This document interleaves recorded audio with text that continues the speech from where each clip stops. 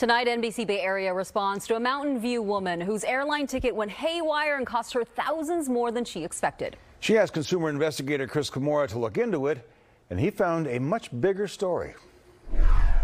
Good evening. Tonight, the warning we're sharing applies to almost everyone. If you ever Google a company, any company, on your smartphone, beware of tapping the call button. For the holidays, Alice Klein has planned an overseas adventure. I want to take my family to Israel. So Alice logged on to the United Airlines website and booked six tickets. Got a receipt in minutes. But she made a typo. No problem, though. Airlines mostly allow ticket changes in the first 24 hours with no fees. I did a search on my phone for United Airlines and I called the number that came up. Buckle up. This is where it gets bumpy. The agent canceled Alice's reservation and booked a new one, but they also made changes Alice did not request. Then they charged extra. It was two or three thousand dollars more, and I didn't realize until later that I hadn't been speaking to United Airlines. Nope. Alice unknowingly connected to a travel agency. Here's how. When she Googled United Airlines on her phone, she clicked the call link. But that call button can be bought.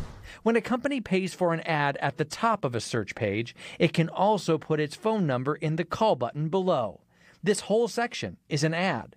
Google said that's what the travel agency did. They paid, so their phone number appeared first when folks searched for United Airlines. You know, when I say call United Airlines, I want them to call United Airlines. Alice is not alone feeling fooled. They lied in Google. They lied to us on the phone. Ed Slanina near Chicago booked United, needed to call, Googled United Airlines, clicked the call button, and got the same travel agency. We asked, Do you work for United? You go, Yes, we work for United. Ed said a real United rep told him the imposter made changes that didn't warrant a service fee, and yet Virago Travels charged him 450 bucks. The fee was ridiculous.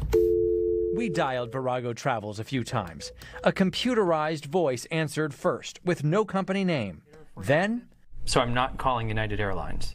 When a human picked up, they only said reservations. It's not like he goes, Virago Travel, can I help you? Many Google reviews of Virago Travels involve Delta Airlines too. Most reviews include the word scam or scammers. Using state records, we traced Virago Travels here to an apartment inside this gated community in Fremont.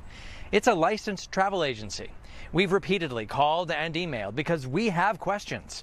We were promised to call back, but that didn't happen.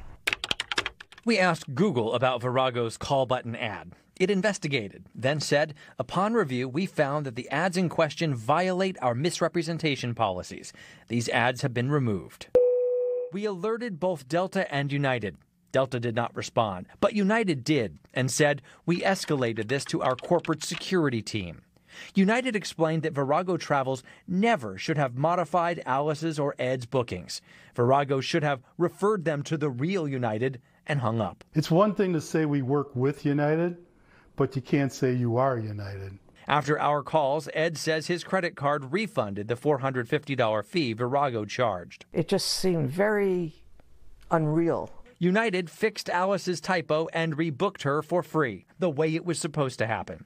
United also found $3,900 in Virago charges for her to dispute and get back. Alice is on her way because she called us. Well, thank you for doing this and your basic job. I watch you at night and I say, I'll never need that. Until you do. Thanks for speaking up, Alice. Our call button warning tonight goes beyond airlines. We Googled other big name businesses, a national carpet cleaner, a huge insurance company, and so on. Often we got a call button for a small time competitor. Google puts the onus on you to avoid being fooled. It told us consumers should clearly read all information on the listing before clicking on a call button. Now you know, so you don't dial trouble. Alice tipped us off on our website. Snap this QR code to share your story online.